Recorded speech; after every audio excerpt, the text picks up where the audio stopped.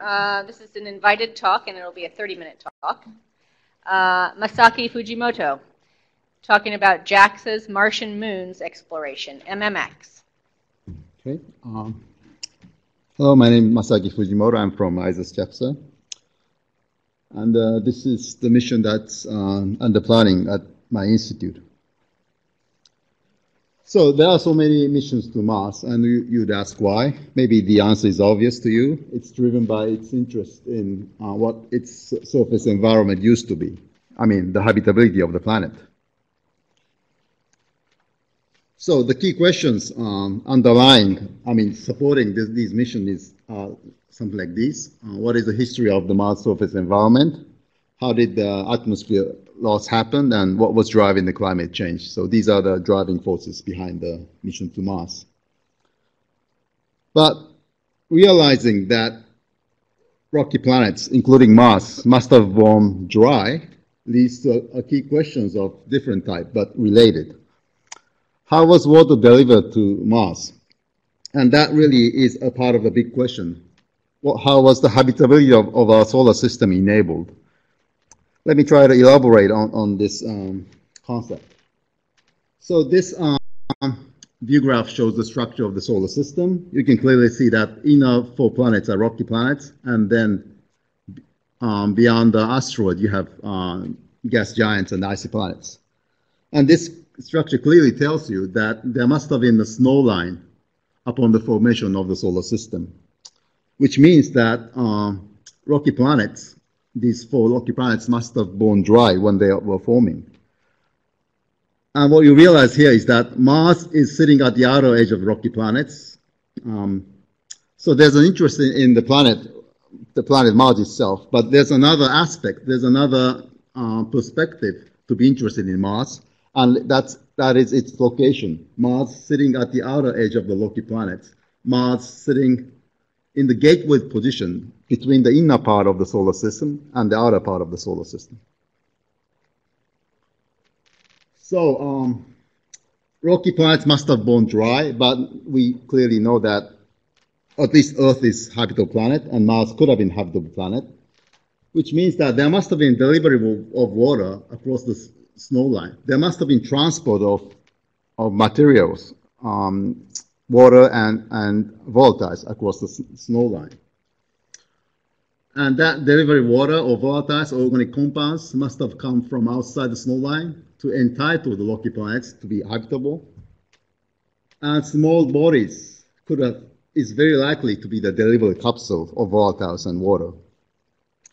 Then, uh, then you would realize that dynamics of small bodies around the region of the around, in the region around the snow line in the early uh, history of the solar system is the issue that needs to be understood if you want to understand how the habitability of the solar system was enabled.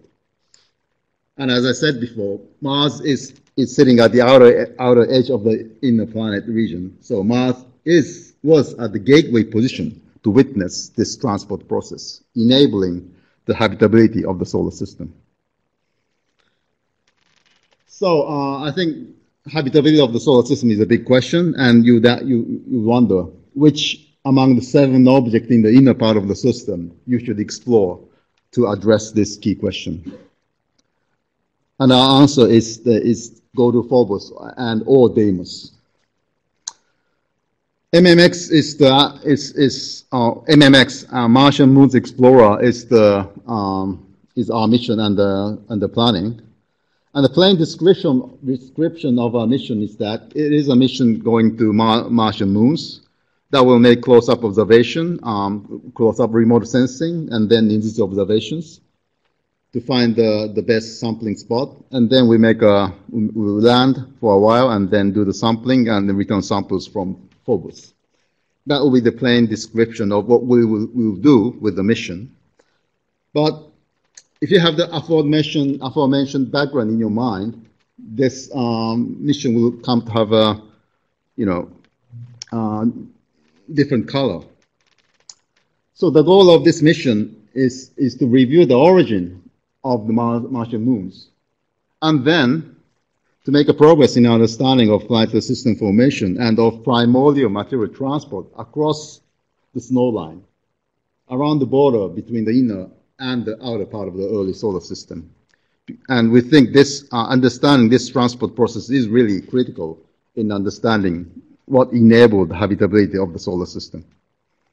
So understanding the origin of the moons is the first step, but then once we have the sample in our hands, we, we think we can make a big step beyond the knowing of the origin. So original Phobos and Deimos, we've heard of, of, of, this story already before in this morning, but uh, it's not known. The two leading, two leading ideas is uh, either captured, oh, oops, either captured primordial asteroid or giant impact. If once you have the sample, uh, we think, well, our, our experts think that uh, it's it should be easy uh, I mean, if, if the truth is either of the two, once you have the sample in your hands, it should be easy to tell which is, which is true. And if the, if the sample analysis shows that the origin of Phobos is known to be captured primordial asteroid, then what we will learn from sample analysis is that sample analysis was characterized as a capsule that was on its way to deliver water and organic compounds to the inner part of the solar system. So this is a way. Once we know that the Phobos is a captured primordial asteroid, we can learn about the transport process from this perspective.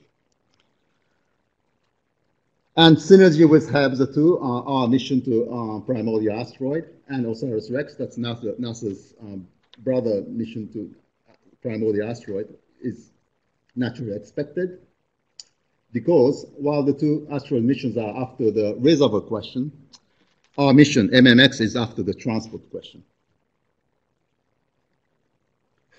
if the origin of Phobos is known to be impact, and we hope that it's not too giant impact, then uh, sample analysis will reveal that the samples are a mixture of Mars, Martian materials and impactor materials.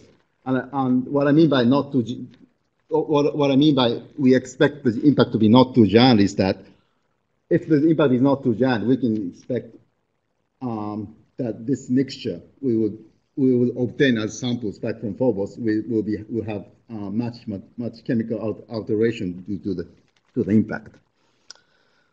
And if there want that much out, out chemical alteration, then the sample may tell us that um, we, may, we, we, may find the samples to be a mixture of ancient Mars that was yet super dry upon impact, and then the impact that was a primordial asteroid. And if that, if, if this most exciting case happened to be true, this is another way of, of witnessing the across the snow line on transport. So it's really super dry ancient Mars being hit by being hit by a primordial asteroid, bringing the water and volatiles into the planet. That this would be the most exciting situation to happen. But we'll see. We don't we don't know yet, of course, and that's why we're having the mission. We'll see if this will be the case or not. And and this is another thing that's been discussed in the morning as well. Uh, but uh, once we have a sample back from the surface of Phobos, we have a chance of uh, obtaining uh, Mars samples because um, Phobos could would have, would have been showered by uh, debris from the Mars surface for the during its history. And then when we, once we have samples, we will, we will, we will look into the details and try to pick up the Martian samples from it. And then once we have them, we will, try, we will analyze them, and then the analysis will tell us, will enable us to read out the history of the Martian surface environment. Because impact must have been going on throughout the history of, of Mars, and then different samples from different epoch will tell us different uh, environment that Mars, Mars surface was in there is um, there is some planetary protection issue coming into play in, in this aspect, but um, we are aware of that, and we are really already talking to the relevant people on this issue. So, uh, from the JAXA perspective, this mission is clearly a sample return mission, and we may know the origin of moons already from remote sensing result. We may, may be able to have a good hint of uh, origin of the moons already from remote sensing result. But the yet bigger step beyond knowing the origin itself will come when the samples uh, are in the hands. So this is the guiding principle in, in allocating resources in the mission designs. So you know, we are getting there, we are landing on the surface, so you might want to do so many things, but at the same time, the, the hard core of this mission is, is to return samples safely from, from Phobos. So that's really the real, the, the real guideline in designing the, our mission. So the, here's the mission scenario. Here's what the mission will, uh, will do. Um, of course, we're, getting into the Mars, Mars, orbit, and then we transfer to a quasi-satellite orbit around Phobos for close-up observations. We'll stay around Phobos, um, like at, at the altitude of 30 kilometers or, or even less, and then make close-up observations. And once we have the close-up, once we have done the close-up observation, we should be able to have a good idea of where the sampling should be performed. So we will land on the surface of Phobos and, and perform the sampling. And then after, after doing so, we will transfer, transfer to Deimos for multiple flybys, or maybe run, rendezvous from a quasi-satellite orbit. And uh, while we do so, we also want to make a bonus science by observing, the, uh, by making um, remote sensing of uh, Mars atmosphere, and then some um, and some other uh, space space uh, plasma related themes. And then uh, we depart from Mars and, and recover samples and, and, then do the initial analysis. So these are the, the plans we have. So um, how do we judge? How, how do we decide which on which part of Phobos should we land and do the sampling? That, but uh, but before going to um, but, but, about the sampling, I, I, then I, let me talk about what how we will do the sampling. Um, we have done Hayabusa mission, and we are now flying Hayabusa 2 missions. Those are the mission to do the sample, re sample return from an asteroid. Um, those asteroids have three orders of magnitude smaller gra gravi gravity. But when it comes to Phobos, we, I don't, we don't think we can use the same technique as we do for Hayabusa and Hayabusa 2. So for Hayabusa, for, for Hayabusa missions, um, we do the touch and go sampling because of the very low gravity. But for this mission to Phobos, th we think we have to um, touch down on the surface for, we have to stay on the surface for some time, like one, at least one, one or two hours. So what we will do is to land on the surface and then uh, use the robotic arms to do, to do the coring, coring to obtain the samples. And because of this, uh, because of this way of obtaining a sample, we think we can obtain at least 10 gram samples from the from Phobos and down to the depth of 10 centimeters. And uh, 10 gram is like a minimum, and uh, our, our you know target number is like 100 gram sample from from by doing this sophisticated way of, of sampling. So that, that's the plan for landing. And uh, where, where are we in terms of the mission study? Uh, we have uh, formulated the mission requirements and mission scenario. And that leads to the definition of model payloads, which have been done already. And we, are, we have done the selection of the teams uh, for the instrument, for the, nom for the um, nominal instruments. And what we are doing now is to do the, the system study uh, to make the boundary conditions for these instruments uh, much clearer. So what I mean by boundary condition for the instrument is like a resource, you know, like ma mass, power, and, and, thermal condition, and and the allocation of the spacecraft. That's that's ongoing now. So uh, things will be clearer in in next half a year or so. So here's the model payload. Um, which, which is the, the list of instruments that meets all the science requirements we have uh, formulated. Uh, we of, of, course we have a sampler um, which enables acquisition of more than 10 gram sample, forward samples from the surface. And then uh, we have uh, remote sensing uh, remote sensing instrument, visible camera, near infrared, near infrared spectrometer, and gamma ray neutron spectrometer. That's really needed so that we can pick up the right uh, place to do the sampling. And we also have in vitro observations to uh, enhance the science cases we have. So we, from these observations, we, we try to select the landing site and then, then do the sampling. Uh, So I, we, we hope that this uh, suite, of instrument will tell us uh, the right the right and the best place to get the samples from. So, so far it's been about remote sensing and sampling. Uh, you do the remote sensing and select the landing site and do the sampling. But how about surface experiment? As I said before, um, for this mission, we, we will try to stay on the surface for at least one, one or two hours. So that, why don't we think about performing some surface experiment? And indeed, that was the recommendation we received from our International Review Committee, that was, which was held in uh, November last year. Uh, landing experiment or package that enhances the science objective um, was highly recommended. That's, we do have a model for this. Um, this um, this uh, figure shows the case for the Hayabusa 2 mission that's, that's really now uh, ongoing. When we get to the target asteroid Ryugu, um, Hayabusa 2 will deploy a small lander by the name Mascot, which is provided by CNES and DLR. And then uh, this will be this will enhance the science of the case of in the case of Hayabusa 2. Then what kind of science should we think about? Well, you know, what are the directions um, that should be eh, that should be boosted by a lander in the case of MMX? And we should, and as I said before, it's from the JAXA perspective, this is a sample return mission. So that lander, this landing experiment or landing package should should enhance the value of the sample return mission. It cannot be just you know, it cannot be just free floating from the, the, the principle of this mission. So then, given that boundary condition, what should be the science case for the, for the landing experiment or, or landing package? Um, so now, now, when it comes to landing package, um, his, I'm, I'm coming back to the sampling operation now.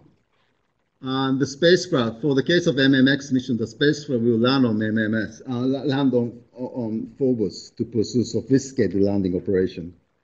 So um, it will stay on the surface for a while. And so the idea is, is that as a, as a surface, surface experiment, uh, you might want to think about uh, operating something like LIBS instrument, which will give you a detailed uh, composition of the, of the spot in the close proximity of the landing site.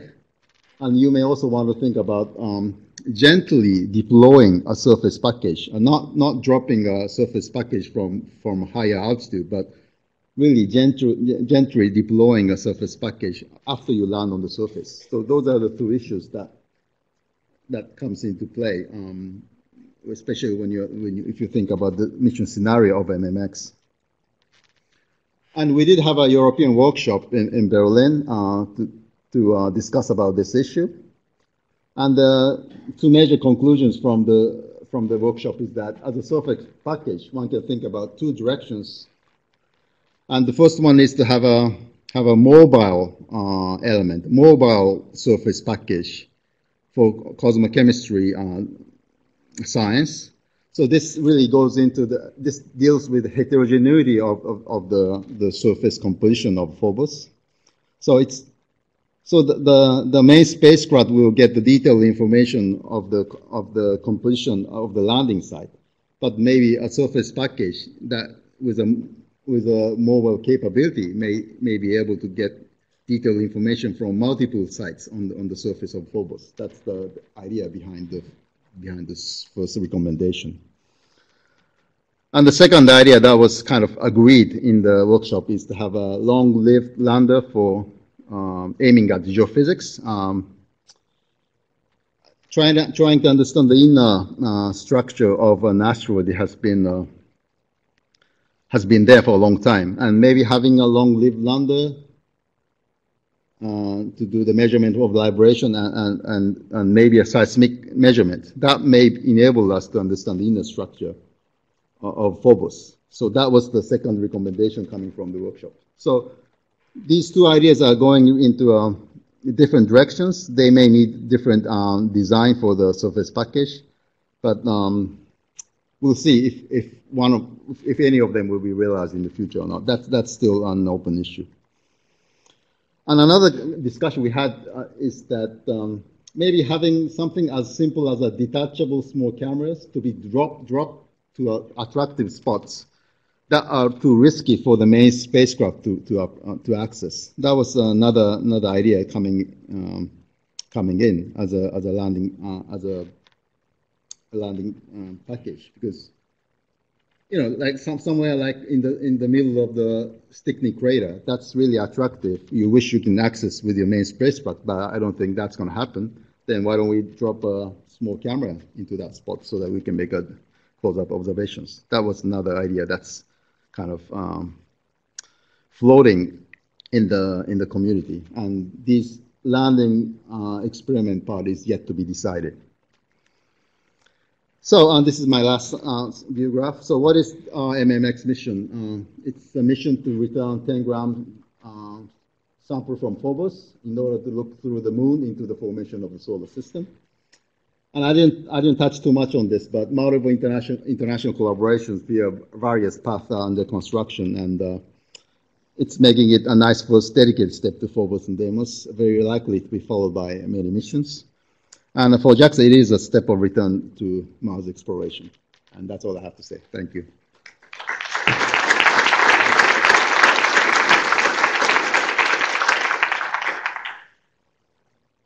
Questions? So uh, just wanted to ask about the, the depth of the, the core uh, sample. You said 10 centimeters. Mm -hmm. Is your is your idea that um, you will have the stratigraphy maintained throughout? Is it is it going to be, in other words, the sample uh, 10 grams throughout the entire course and 10 centimeters depth, or are you just sampling from a depth of 10 centimeters? Just to be clear. Yes, uh, we we thought first. Um, scientists wanted to make it as a science requirement to keep the stratigraphy, but uh, then engineering thinking thought thinks makes it not possible to make it as a requirement. But on the other hand, we think we can uh, distinguish the real samples from the real surface and others um, by analyzing the samples. So we don't keep it. We don't keep the stratigraphy, but when you have the samples at, at hand and if you if you analyze it, I think you can tell the difference between the real surface samples and, and then the others. Yeah, that's a strategy we have, yes. Maybe I missed it, but um, do you have to worry about anchoring to the surface at all? Uh, they talked this morning that you don't have to be going very fast to match the escape velocity. So is that a worry for your mission? Uh, so when we do the like, like, operational robotic SAM, do we have to uh, count the, the action so that we don't we don't bump on the surface or something. Right, right. So, mm -hmm. so Rosetta bounced off the surface. Mm -hmm. Do you have to worry mm -hmm. about anything like that? Yes, that's that's under uh, that's under consideration. Um, there are some rough ideas like um, like thrusting, you know, into the, the the opposite direction or something. So that's that's that's part of the consider engineering consideration. Yes, we we may have to worry about it. Yeah, that's going to be my short answer. Um, yeah, it's a very impressive mission, um, uh, and, but I just want to um, uh, comment on uh, the, some of the uh, simulations that we're currently doing at NASA Goddard, trying to simulate the prebiotic atmosphere of, the, of Mars that basically uh, lost uh, tens of kilograms per second of atmosphere, and, and Phobos is the, the, the collector of those prebiotic molecules. So the one important goal, I think, of this mission can be uh, a basically uh, verification of the nitrogen rich if the, uh, the atmosphere was, was, nitrogen rich and if um, hydrogen cyanide, one of the prebi important prebiotic molecules, um, was present in the atmosphere of early Mars. Mm -hmm. So, so I did touch on the debris from the surface, but you're saying that atmospheric component could have been implanted into the surface in, in, yes, that's right. Okay, then, thank you. Yeah. So um, Hayabusa and Hayabusa 2 both use uh, little packages, the Minerva packages that help with targeting. Do, do you plan to have a similar approach where you would also deploy things onto the surface regardless of, of it being a package? Yes, it's really under under consideration. Um, how do I say? Um, Oh, but budget is limited. That's that's the first thing. Um, budget is limited. Okay. Budget budget is the budget will determine the who will do what. So um, Well, Like the, like the lander, we wish we could uh, provide a lander by ourselves, but it's it's unlikely that when it comes to a lander that which is the size of like mascot, you know, 10 kilogram small lander, I don't think we can afford it. So we really wish that Europeans will join their forces and make it happen. But when it comes to smaller ones like Minerva, um, maybe that, that is possible, and that's one of the the, the, the small detachable camera is belongs to that category of the instrument. So it's small one, I don't know, small reconna- reconnaissance like instrument. Uh, yes. And because you just mentioned that you're looking to the Europeans to provide possibly the, the landed package, are, Mm-hmm. are you, are you, uh, is there a commitment to that or? No, no, not really. It's really, as I said, for us, this is a sample return mission, and we, we don't think we can spare too much resources to uh, to something that's not that's not the main main you know main part of the mission. So we cannot really tell how much resources will be available available for for the lander. But Europeans are so interested that they kind of voluntarily uh, approached us and say, is there a chance for them to think about it? So that's where we are now. Not, no, there's no real commitment. It's more or less a voluntary process. And we, we haven't really promised how much resources will be available for the lander, but based on that, you know, gentleman's agreement, both sides are making, making an effort. So are you open to other volunteers approaching you? Yeah, sure, sure, sure, sure. But it's, it's that, that basis, you know, no, nothing really, you know, nothing can be promised at this stage. Okay, I have a more technical questions. It concerns the uh, quasi-orbit phase of the mission before landing, and what will be the altitude of this orbit with respect to Yes, that's really a good question because um, yeah, something like neutron gamma ray spectrum, whether they really they perform much better if, if the altitude is much lower. So 20 kilometers is like, ball, like a, you know, like a nominal altitude we have in our mind.